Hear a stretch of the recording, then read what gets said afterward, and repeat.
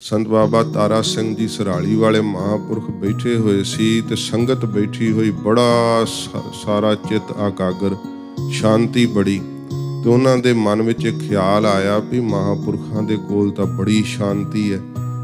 ਤੇ ਜਦੋਂ ਕੋਲ ਬੁਲਾ ਕਰਕੇ ਸਾਰਿਆਂ ਦੀਆਂ ਇੱਛਾ ਜਿਹੜੀਆਂ ਸੀ ਨਾ ਮਨ ਦੇ ਫੁਰਨੇ ਇੱਕਦਮ ਜਦੋਂ ਕੰਨਾਂ 'ਚ ਆਵਾਜ਼ਾਂ ਪਈਆਂ ਸੁਣਾਤੇ ਉਹ ਡਰ ਗਏ, ਹੱਥ ਜੋੜ ਲਏ। ਵੀ ਇੰਨੀ ਜ਼ਿਆਦੀ ਭੜਕਾਹਟ ਨੂੰ ਉਹਨਾਂ ਨੇ ਸਭ ਦੇ ਵੱਸ ਕੀਤਾ ਹੋਇਆ ਸੀ, ਤਾਂ ਸ਼ਾਂਤੀ ਸੀ। ਤੇ ਕਿਹਾ ਸੀ ਵੀ ਸਾਡੇ ਕੋਲ ਬਹੁਤੇ ਜਿਹੜੇ ਆਉਂਦੇ ਆ ਨਾ, ਉਹ ਇਹੋ ਜੀਆਂ ਇੱਛਾ ਹੀ ਲੈ ਕੇ ਆਉਂਦੇ ਕਿ ਸਾਨੂੰ ਆ ਮਿਲ ਜੇ, ਕਈਆਂ ਨੇ ਸੰਤਾਂ ਦੇ ਕੋਲ ਵੀ ਆਉਣ ਦਾ ਪ੍ਰਯੋਜਨ ਇਹੀ ਸਮਝਿਆ ਹੁੰਦਾ ਹੈ ਕਿ ਭਈ ਉਥੋਂ ਚਲੋ ਆ ਕੁਝ ਪ੍ਰਾਪਤ ਕਰਾਂਗੇ। ਪ੍ਰਾਪਤ ਹੁੰਦਾ ਹੈ, ਫਿਰ ਹੋਰ ਇੱਛਾ ਤੀਬਰ ਜਾਗਦੀ ਹੈ।